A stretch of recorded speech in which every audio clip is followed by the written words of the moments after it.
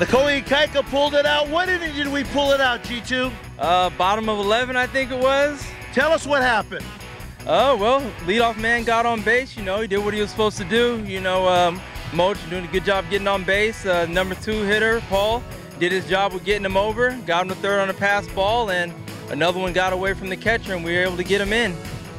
We needed this one, didn't we? Yeah, you know, we needed it. You know, we battled back. You know, uh, got down early, gave up the lead again, and, you know, the guys just kept fighting, and, you know, we pulled out another win.